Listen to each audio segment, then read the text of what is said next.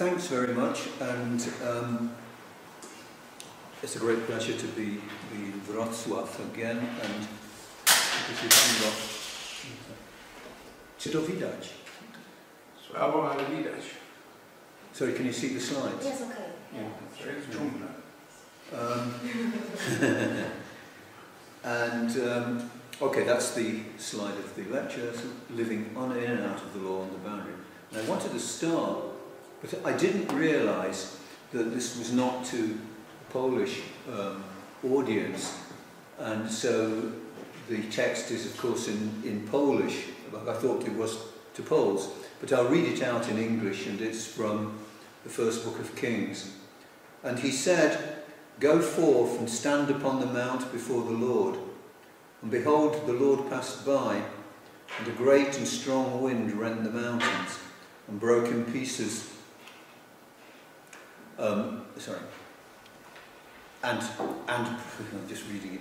And broke in pieces the rock before the Lord. But the Lord was not in the wind, and after the wind an earthquake. But the Lord was not in the earthquake, and after the earthquake a fire. But the Lord was not in the fire, and after the fire, a still small voice. Now, I start from that because partly it resonates with the kinds of situations we have here. That is to say that we have a law and outside of it there's something that tries to ameliorate it, make it better, change it. And we're all the time, in a way, trying to close down, you might say, the voice from outside of the law that tries to change that. And it might be seen, and what I want to do in a way, is join together the thanatos of law, law is seen as something that destroys, that makes plain, that makes clear, and the contingency, thing coming from the outside that we can't control, that tries to ameliorate, change it, and make it work in different ways. And the trouble with all of this is that though the quote I gave from Kings shows a small voice, it is also perceived by people as that thing coming from the outside is extremely dangerous. And it's seen as dangerous because, of course, it's that kind of passionate nature. It's contingent, it means it's not beholden to anything, we can't control it. It can kill us if we're not careful. So we all the time try and damp it down with law and legality, with the thanatos. So you might say, in kind of psychoanalytic terms, the eros is always trying to be curbed by the thanatos of law. So the eros of love, our contingent natures, is always tried to be, is, we always try and curb with law. And in that sense, let me give you an anecdote, a story of what I mean. When I was teaching in Italy, when I first came there, I just couldn't get over the traffic. It was virtually impossible to live.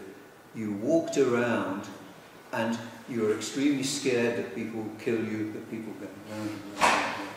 And nobody obeyed any of the traffic lights and so on. And then when I went to Germany during that time there, it was amazing.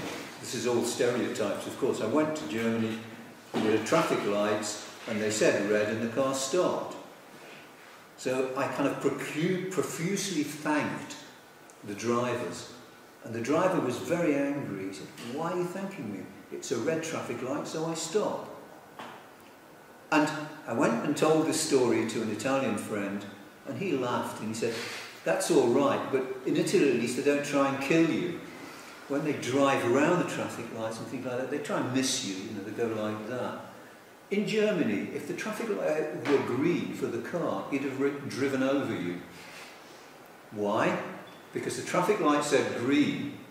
Um, the traffic light said green for the car and red for you. Therefore, you weren't. Therefore, you ought not to be on the road. Therefore, you weren't on the road.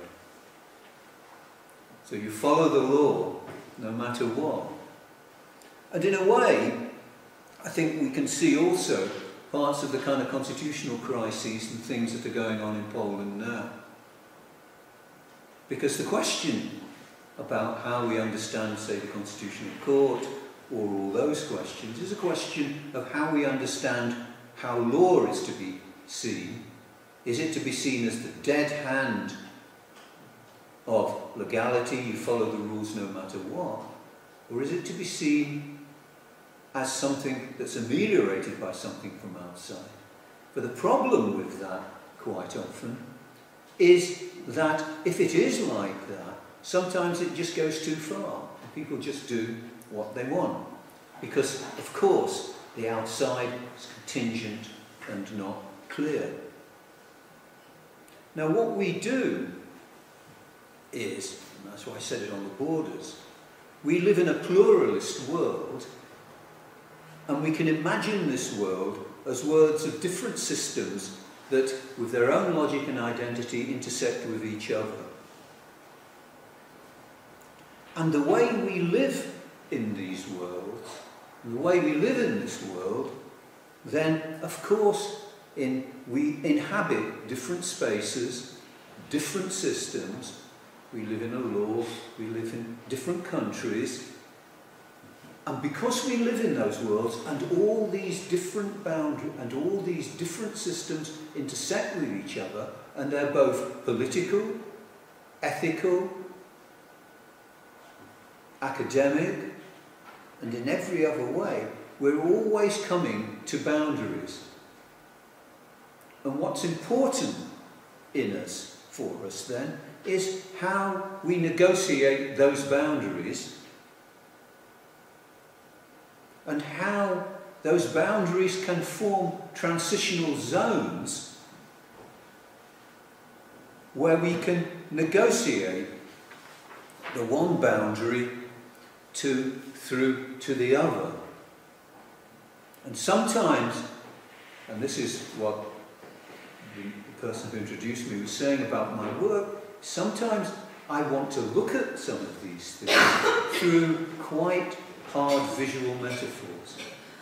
So the image of the boundary, of the border, the Grenzstellen, is important, say, in the image between law and contingency and love.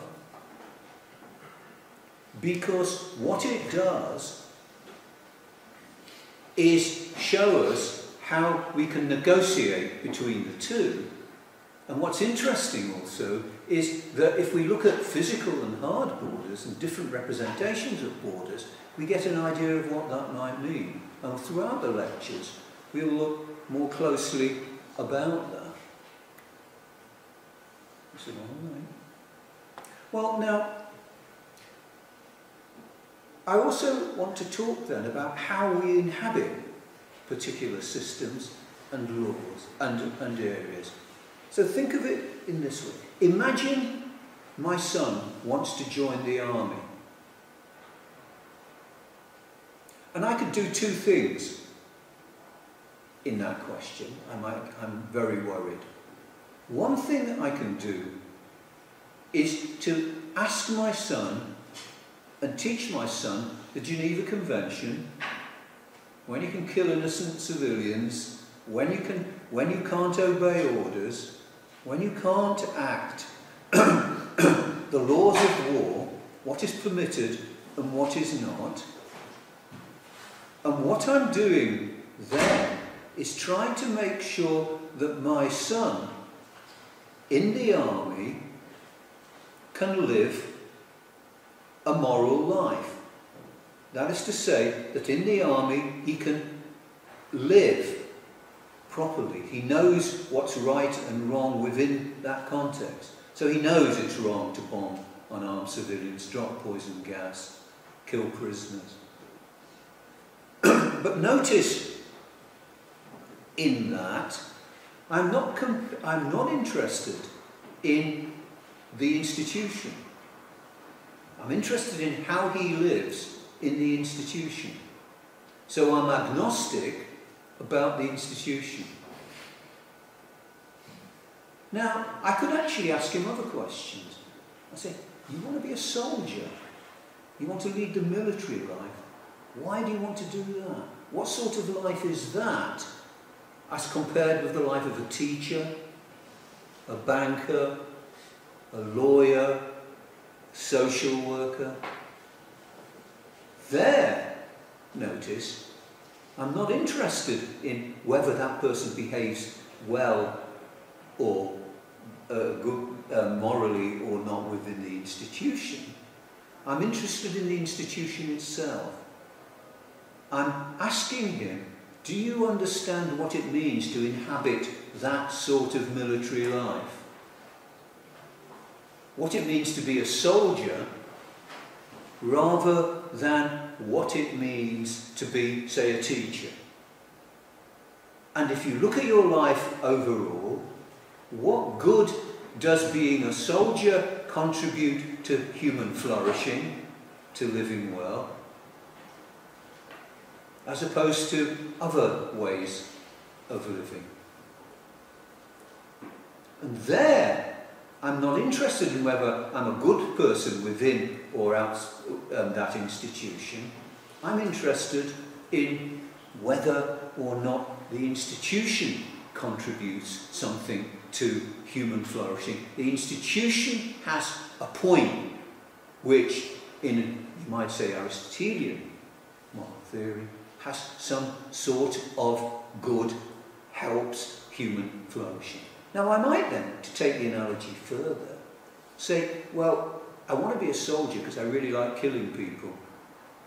Really enjoy that. And the only way you can kill people without getting put into prison is by joining the army.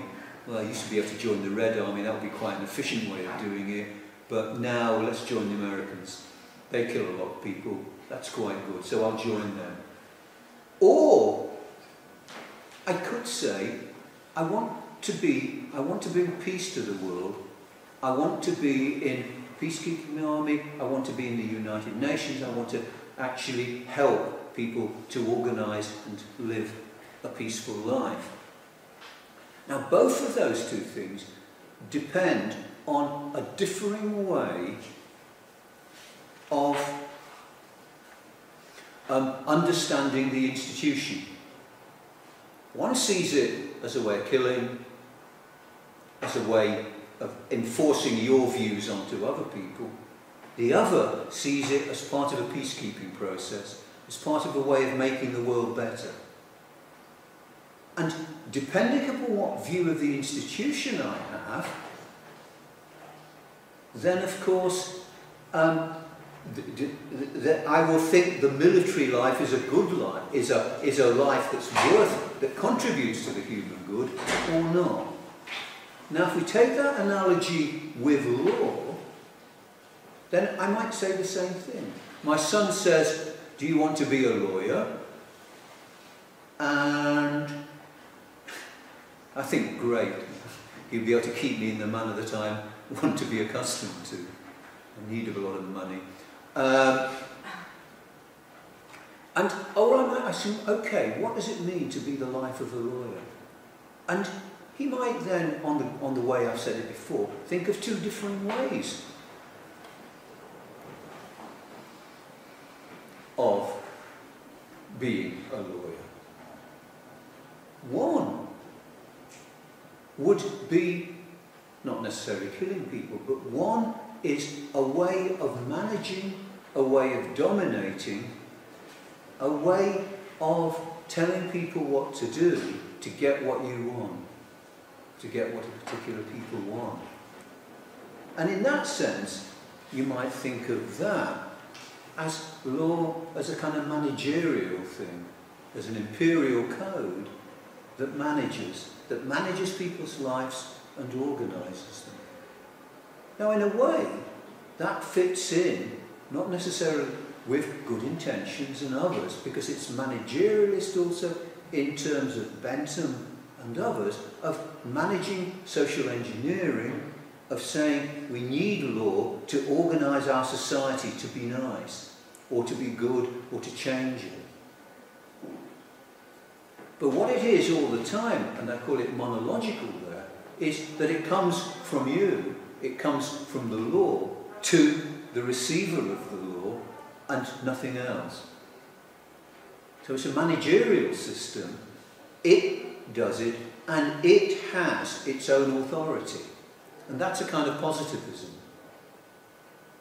You can see because what it's saying is that the authority of the law comes from me, not from it being from, from the will, not from a good life, not from a way in which a life is good. The other system, the other way of looking at it, is rather interactive. And in that way, it's law, you might say, as part of the good, as part embedded in things like community and friendship. And what we're looking at here is saying, to say that what law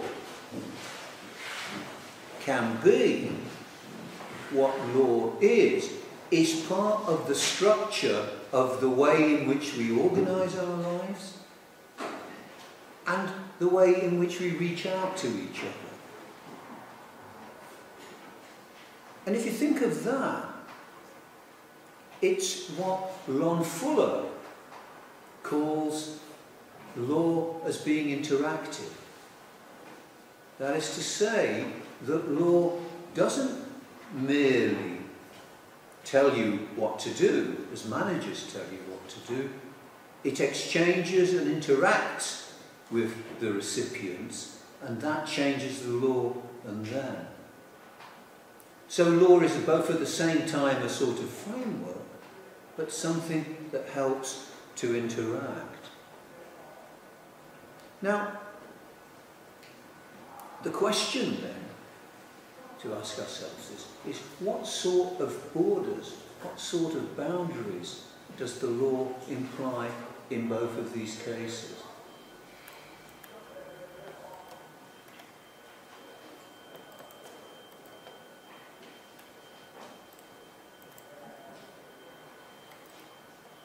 There we are. Okay. This is, shall we see, if we think of law in the first instance, here is a border that describes what I'm trying to say.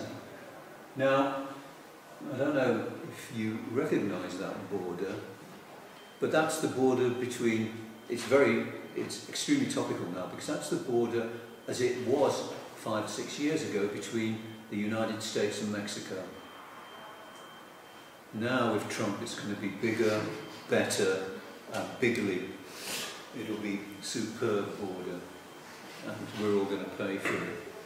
Um, but it's law, the border and the invisible because on one side you see one thing and the other side you don't see the other side. You can on this side, but when it gets proper, it will make itself really invisible. Okay. Let's then see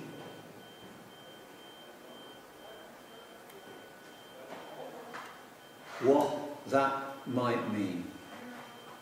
Okay, consider the first border.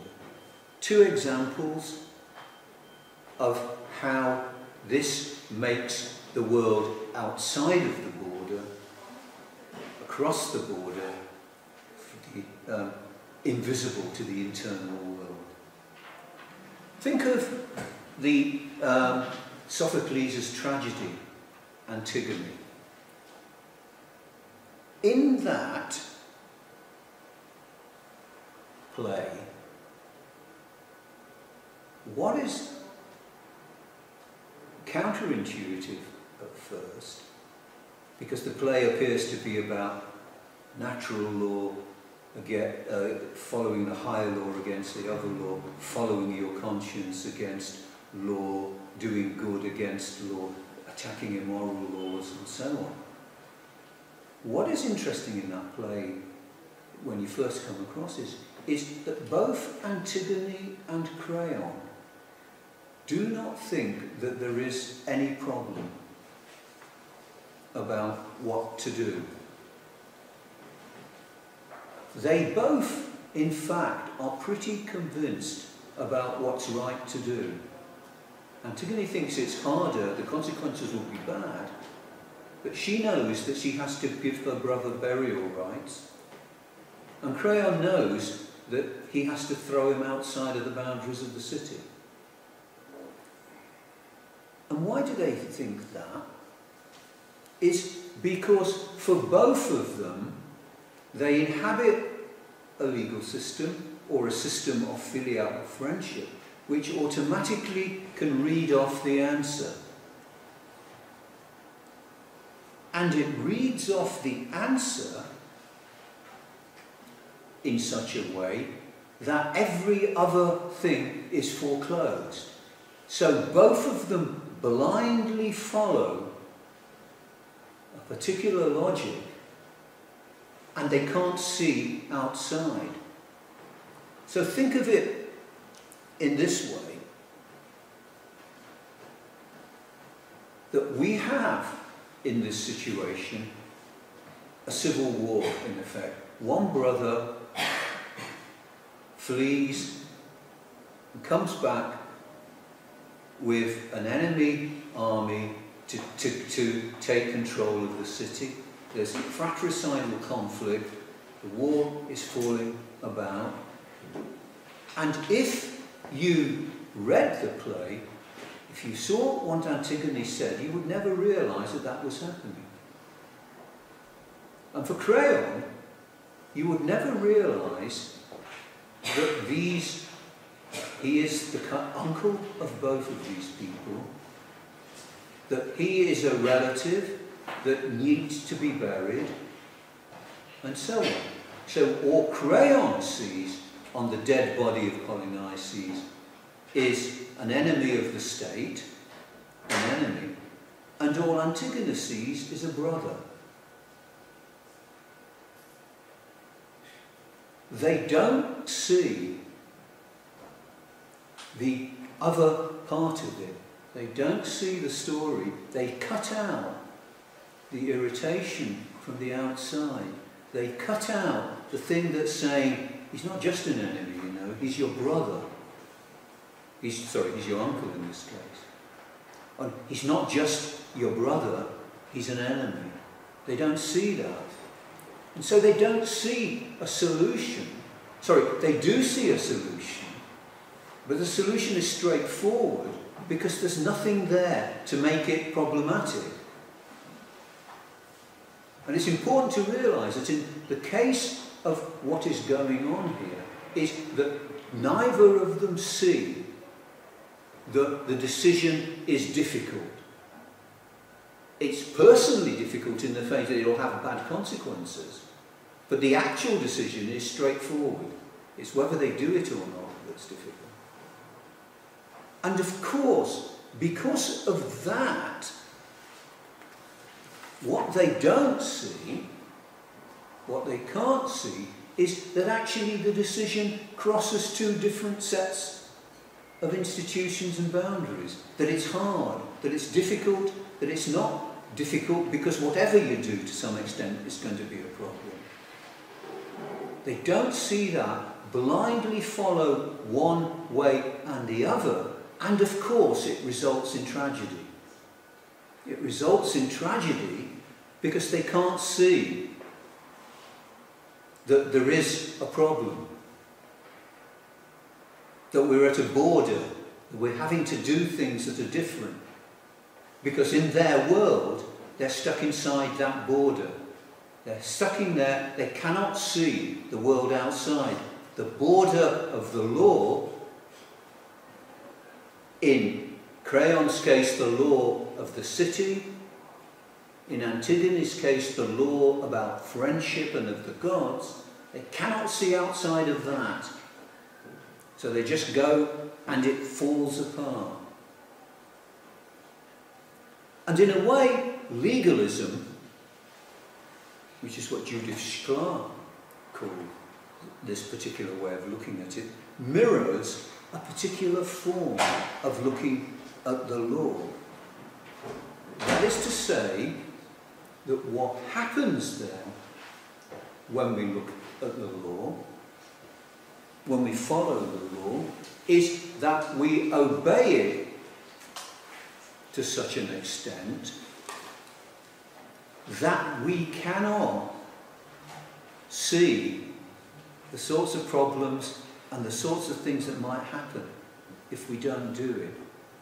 We are we treat the law as a border like that in such a way that we don't see outside of it. So, from the, um, the um, quotation from Kings that I gave, we don't hear that voice that's telling us there's something else.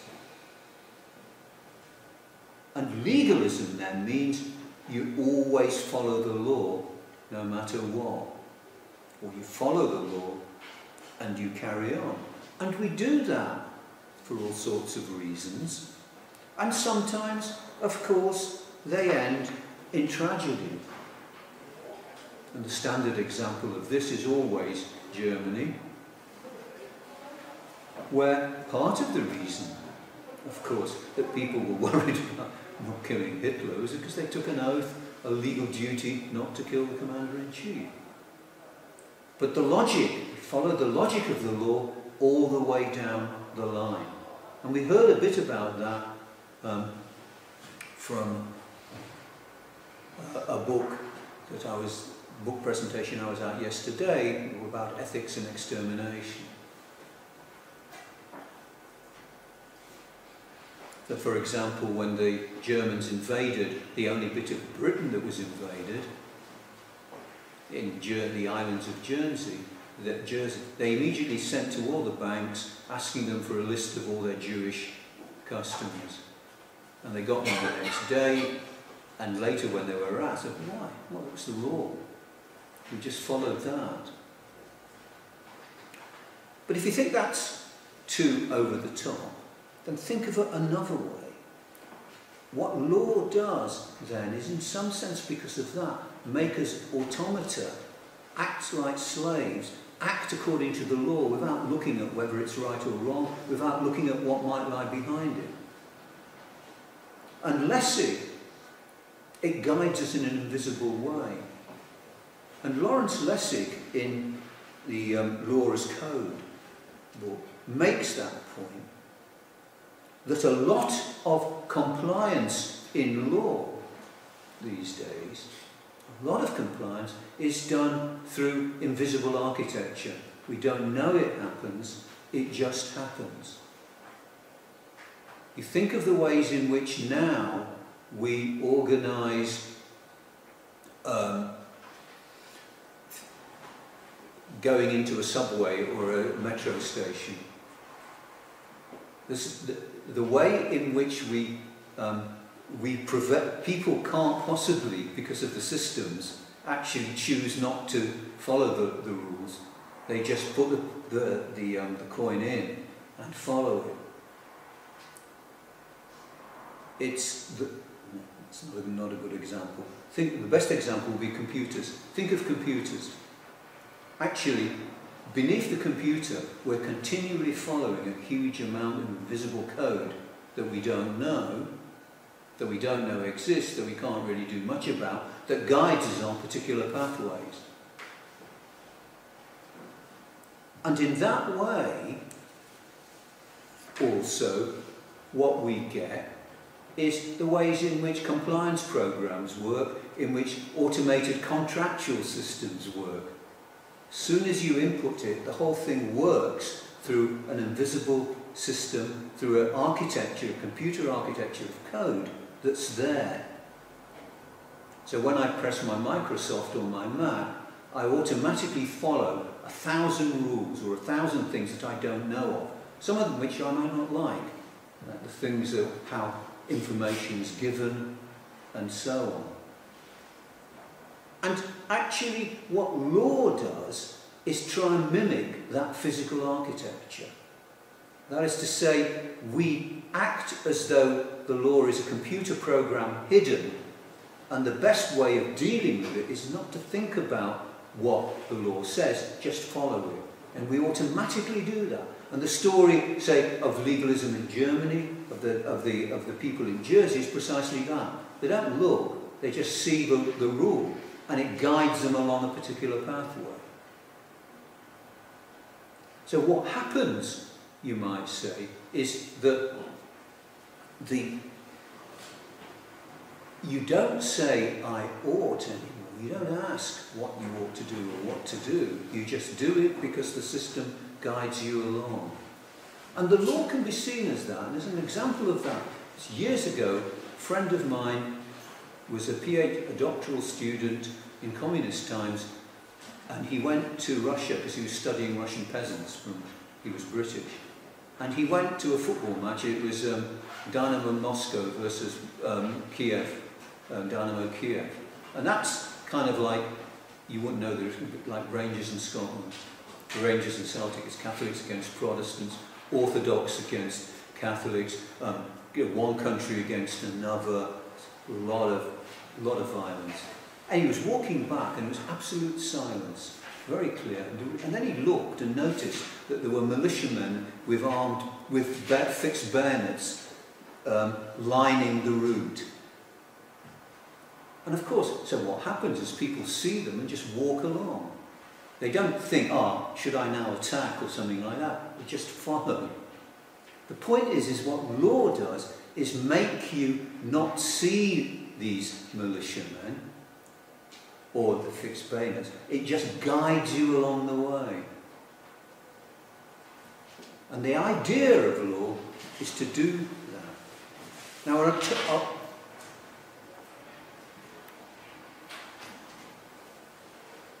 The alternative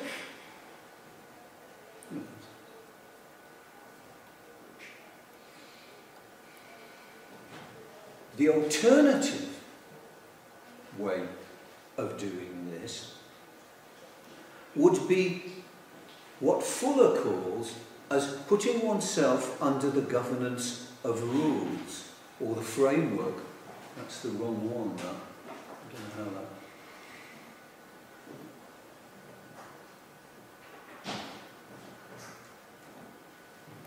Sorry.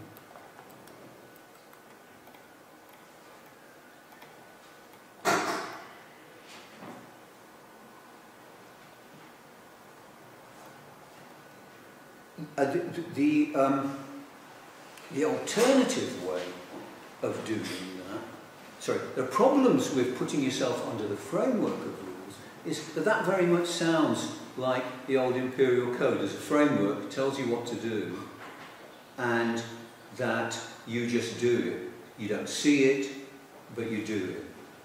So law is really still something that's managing you in that way. But actually, what he talks about is that law is in, but Fuller's position is somehow more nuanced than that. It's more a moral and an ethical one. Because law is not outside of us, but it's embedded in our interactions in a way that we constitute ourselves by it. So law is part of the way in which we become um, ourselves, sorry, the law is part of the way in which we constitute the self. If you see the self in flux, as changing in that way, you can understand it either in a sort of communitarian way that we're constituted by the society, or in a way rather like that, the way in which we're constituted is through our giving and receiving things all the time. So our selves are constituted by a process of exchange. So every time I interact with someone, I give something to them, but in the process I also get something back, whatever it is, in ever different ways. And in doing that, I change and become a different person. And quite often, some of the things we get, we don't want because we're scared of them. They might change us, they might make us different sorts of people. And these things are continually working then in a way in which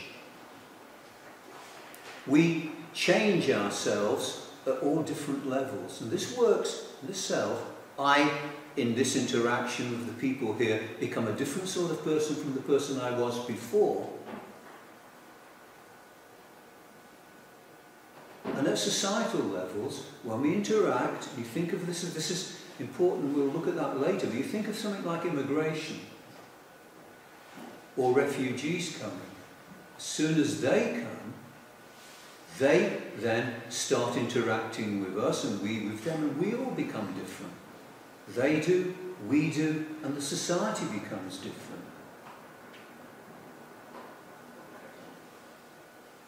And the problem, not the problem, and this is true in a way, and our problems quite often are that we're afraid of that.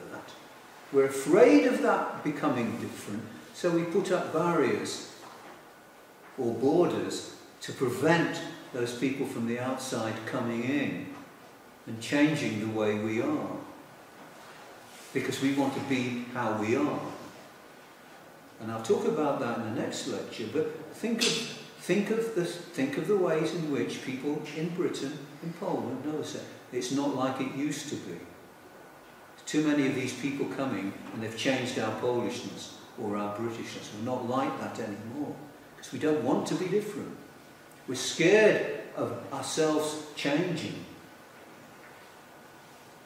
And we just live then in this particular single community which doesn't want to change, which has the border, the big wall you saw, the Mexican border, on the keeping everything outside. But it, in keeping everything outside, it keeps us all inside.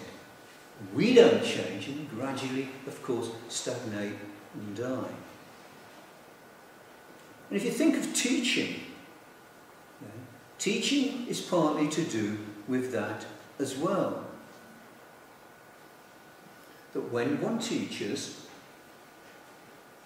a teacher gives something to somebody, but at the same time, teachers who want to be good, good teachers and others, are always surprised by what they get back. It might change the way they look at, how they disappear, how they look. So it's a learning experience for both, even though some senses obviously the, the pupils know less than the teacher. But responses are quite often a surprise.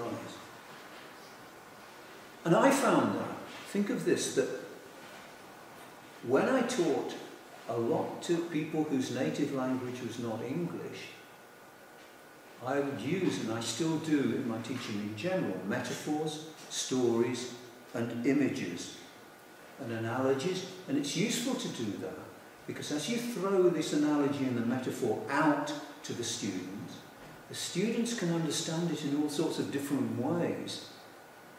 And different ways of things come back to you from that. Because they look at the story, follow the story, look at the analogy, and get a thing that you might not have seen. And it comes back to you. And in that way, you're no longer in control of what you're teaching. Because as you give the story, you let go of what um, you want them to know, because you don't know what the students, people will know. And as I do that, I am not, in that sense, I am someone who's not wanting to hide behind a boundary. If I were, I would have a rigid text, make sure that they knew it and copied it down. But in giving those stories, I change it because they have actually to make sense of the metaphor because the metaphor is somehow different. And in doing that, they give something back to me. Now, an example of that, an example of what I'm meaning about law as being that interactive framework, would be the story of a seminar. So let me give you this example of a seminar which will which is intended to show how law fits into all of this story. Okay, think of a seminar, of a, a university seminar. You can see different stages in this seminar. We can have, first of all, the seminar as a kind of very utilitarian version of community. So I'm a student and I go to the seminar and I'm only really interested in the seminar in so far as I learn things. I want to learn things from the teacher. So I'm interested in getting the knowledge and I'm interested in the teacher telling me. But so I'm interested that there be that, that I know that the teacher comes. I'm interested to know where it is, what time it is, that the teacher is sober, that they can give the story, give me the knowledge, and so on. But I'm not interested if the other students come or go, because I'm uninterested in them, because they don't help in any way in my finding out what the story is or what the knowledge is. So I'm not interested in the other students. Because all, all I'm really interested in is gaining knowledge. And the only person who has the knowledge, as far as I can see, is the teacher. And I'm interested in his being there and me being there. It might then get, the next version of it would be that actually some other people come to this and they talk and they kind of contribute and I gradually quite enjoy them. And I learn sometimes more things, and I quite enjoy and, and, and enjoy that, that interaction. So then I begin to think and I begin to like the seminar, not just from getting knowledge, but the way, but somehow in part from the ways in which I enjoy the kind of discussion it makes me feel good, I like talking, and everyone's happy. So I'm now interested in there being the seminar being planned in such a way that everybody knows what time it is, and various other things like that, that the people come and gain their knowledge. But I'm not really interested in if they know anything or not, or if they are enjoying it or anything like that, or the other students. I'm just interested in them as people who play uh, props in my game. They're interesting to me because what they're doing is helping me to have a nice game. So it's rather like football. I might not be interested in the other players as long as they pass the ball to me. Because a nice score, because I like that. And then I have a final move to this. I become, I really then actually think, this is really good. I'm really enjoying this game. What I really like is for the other people to enjoy it like I enjoy it. And it's important that they enjoy it like that. And as I do that, it becomes important for me, the timetabling, the organisation of the seminar becomes important in a different way. Because what I want now is, is to make sure that the people want to come, that it's organised for help them, and also I'm interested in the, the fact is that they can enjoy the participation of it in a better way than before. So I'm, I'm interested in making sure that they know a lot so they can take part in the discussion in a good way and that they can really get an enjoyment from it, the sort of things that I do. And then, of course, as that happens, I'm coordinating, trying to organise the timetable. But that becomes part of the seminar itself. Part of my enjoyment of the seminar is the fact that I've organised, that it's organised in a particular way, that everyone comes and talks and enjoys themselves and gets a sense of it. But to do that, I have to do more than have to have a timetable.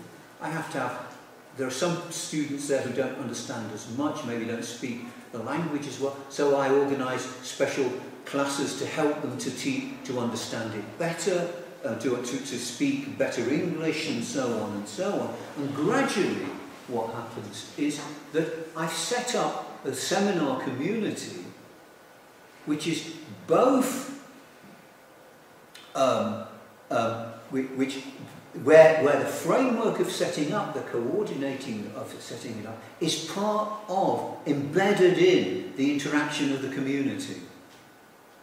In other words, the seminar exists as a seminar not just because people have it, organised and you can come and talk about it. It exists as a seminar because we all care enough for each other to organise it in that way. And the pleasure of the seminar becomes that as much as everything else. And through that, of course, I begin to learn things that I hadn't before. Because now I'm joined to my fellow students in a different way. And if you think of law in that way, it's a sort of idea of community as friendship.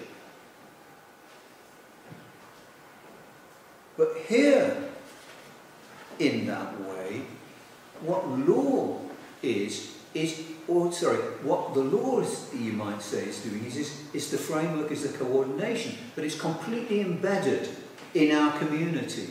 It's not something that keeps the community together so that we can do what we want. It's part of our activity. Just as in the seminar, I got real pleasure from making sure that students who were a bit stupid, who couldn't get to it because they couldn't read the timetable, read it and came there because that was part of the seminar itself. In that exact way, the law is similar to that. So it's part of the ways in which we constitute our connection.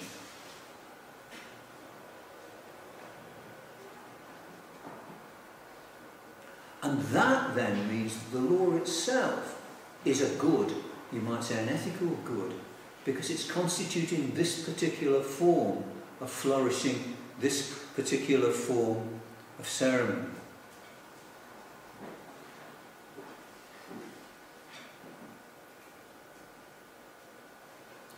Now, what is going on here then is that the law is seen in this particular way. So to go back to what we um, started on before, right at the start, this then begins to make the boundaries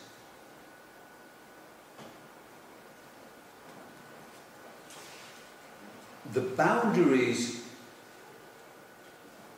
sorry I'm just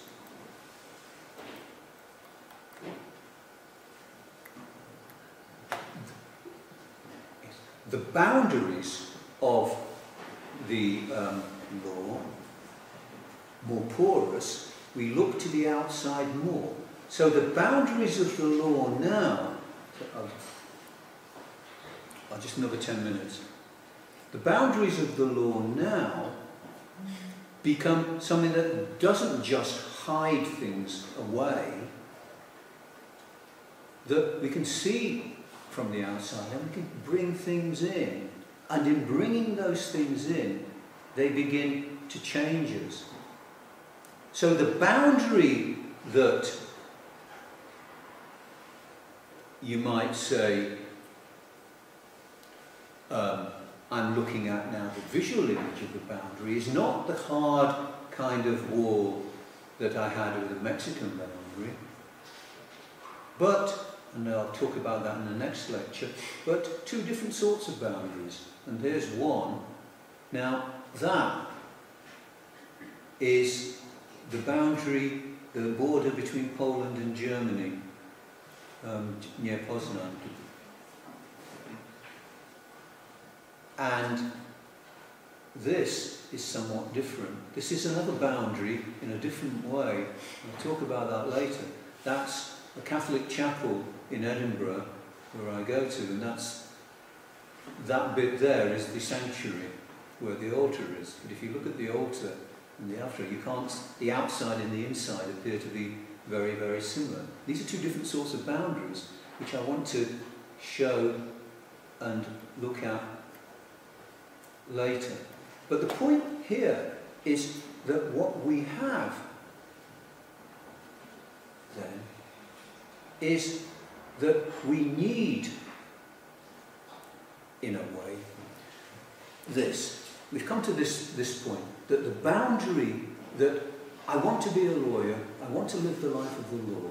The life of the law that leads to human flourishing is one that's interactive, it doesn't cut people off, it has no boundary. But we can't just live without a boundary. We have to live in a particular way where um, we do have some home and we do make choices. And there are two, um, two images I want to leave here finally. Fuller again, in talking about the morality of this, has two ideas of what counts as morality. There are two languages. There's the language of duty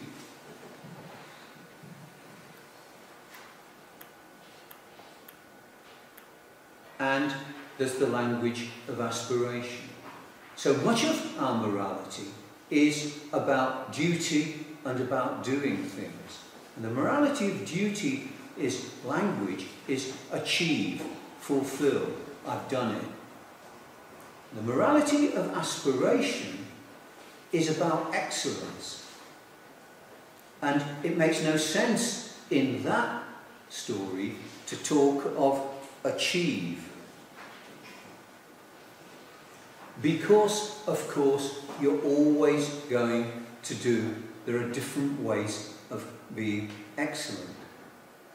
And if you think of that great story in the Bible where the Pharisee is in the synagogue praying, saying, Thank God I am not like these others. I follow the law, I pay my tithes, I do this and that. And Jesus attacks that Pharisee, not because the Pharisee's a good man, a bad man, he's probably quite good, but because the Pharisee sees, doesn't see, thinks that doing the law is all there is to it. Doing the law is all you have to do. And Christ says there is more, and you have occasionally to change and do it. And the point is the morality of duty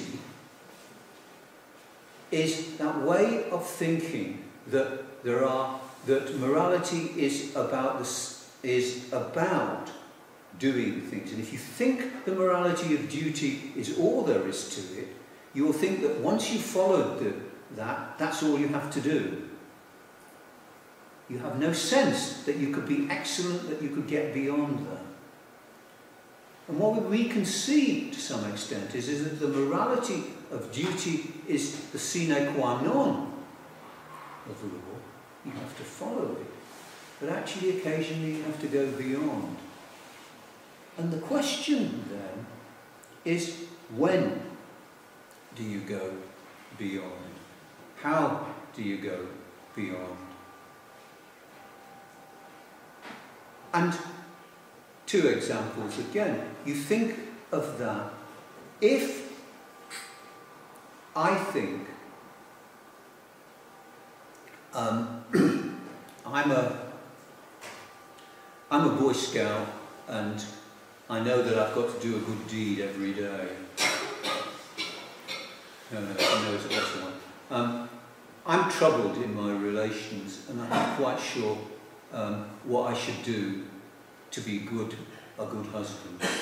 And I'm told by a friend who says, you've got to buy her flowers every week and you've got to take her out to dinner every third day or something like that. And so, and so I start doing that and gradually, you know, it's third day, my wife is ill and things like that, but she, we've only been out for dinner twice, so she's got to go out. I push her out and things like that. And gradually, of course, I find it all goes wrong. And I kind of then realise that what I have to do is to love her, or to be in a loving relation. But love can't be specified completely by rules. It can be specified by some rules. You can't kill her, though again in certain instances that might change. Um, well, assisted euthanasia and that's it.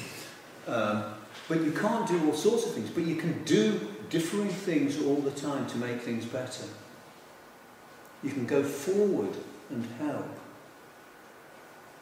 And it's like I knew a friend who um, went to Zimbabwe and he was a vegetarian. No, yeah, he was a vegetarian, strict vegetarian, and he went to visit this, these people out in the rural areas, some people who had nothing, and they gave him something to eat, and they were poor, and they gave him this meat which they'd left, had for years dug away, nearly rotting. And he ate it. And the reason he ate it, of course, is because he realized that being kind, why was he a vegetarian? Because he was kind to animals and sentient beings. But being kind to sentient beings meant you also, in these instances, had to eat the meat. The story of Eric Liddell I don't know if you ever saw the film Chariots of Fire.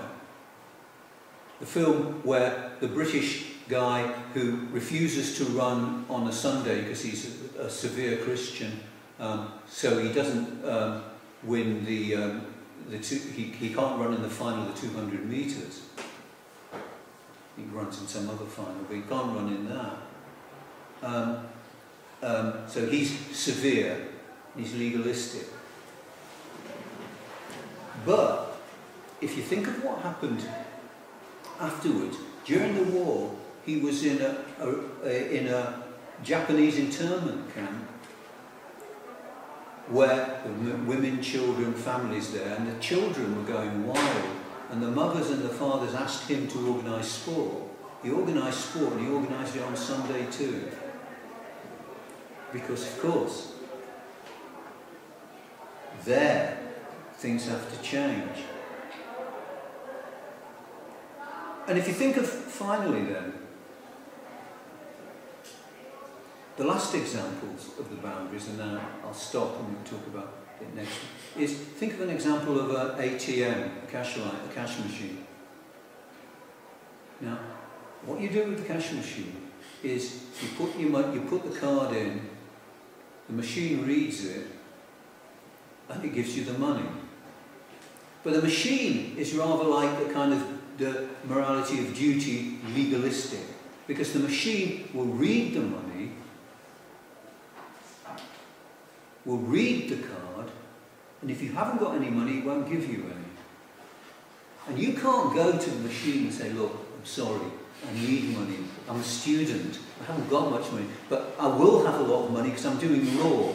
And I'll be extremely rich because I'll be kind of corporate lawyer and I'll make loads of money. Then I can pay you back at any time you want. The machine doesn't hear that. The machine is not interested in that. And it just doesn't give you the money. But occasionally, then, what you're wanting is the machine, at some stage, you do that and it's like that, and then suddenly the machine, suddenly a bank manager appears from the machine and says, ah, I've heard that, I'll let you have some money and a bit, a, a bit like that. We see the manager has to do the kind of right thing. He has to do something different. One final story about another film called The Cincinnati Kid. Again, these are all old films, but this is a film with um, Steve McQueen in it, and, and Edward G. Robinson. And th in this film, what you've got is um, Edward G. Robinson is the king of poker in, in this town in America. And McQueen is a young kid on the block, a Cincinnati kid who's going to beat him, who's going to be the king, the star, and make all the money and things like that. There's whole stories about how that happens and things like that. Finally, they're all playing games of poker. It's been going on for three days, and it looks as though McQueen is going to win. Edward G. Robinson's very old, he's tired, all the money's um, with, with McQueen. McQueen's looking one. And finally, McQueen just says, I'll see you. And he knows he's won, and he's ready to take all the money and things like that. And then Edward G. Robinson just puts down winning hand against all the odds. And